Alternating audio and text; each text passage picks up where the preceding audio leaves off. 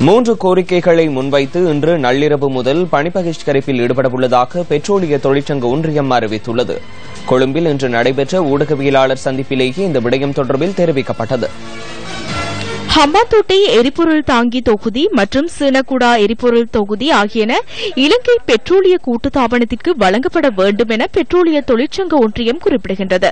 அத்துடன் சப்புகஸ்கந்த எரிபொருள் சுத்திகரிப்பு நிலையத்தை நவீனமயப்படுத்துதலும் அவர்கள் முன்வைத்துள்ள கோரிக்கைகளில் ஒன்றாகும். இது அவர்களின் பெற்றோர்களின் சொத்து அல்ல. இது பிரதமர் அல்லது ஜனாதிபதியின் சொத்தாக இருந்தால் இவ்வாறு விற்பனை செய்ய முடியும். இது நாட்டின் மக்களின் சொத்து. அவர்கள் ஆட்சியாளர்கள் மாத்திரமே. அவர்கள் உரிமையாளர்கள் அல்ல. அதனை நினைவில் கொள்ள வேண்டும். இதன் உண்மையான உரிமையாளர் பொதுமக்களாகிய நாமே. அதனால் எம்மால் முடிந்த அதிகபட்ச செயற்பாடுகளை முன்னெடுப்போம். அதனாலேயே நாளை பணி ஆரம்பிக்க உள்ளோம் முடியுமாயின் செயற்படுங்கள். நாம் எமது பொறுப்பை நிறைவேற்றுவோம். இந்த பணி பகிஷ்கரிப்பின் ஊடாக எரிபொருள் இல்லாமல் போகும். அத்துடன் இரண்டு நாட்களில் மின் உற்பத்தி நிலையங்களில் மின்சாரம் இல்லாமல் போகும். விமானங்களுக்கு எரிபொருள் இல்லாமல் போகும். இவற்றின் பொறுப்பை அரசாங்கமே நிச்சயமாக ஏற்றுக்கொள்ள வேண்டும். மே சியலூம வகையும் அனிவாரியம் ரஜே பாரகத்தை. இது தொடர்பில் பெட்ரோலிய வள அமைச்சர் சந்தீபம் வீரக்கொடியிடம் நாம் வினவினோம்.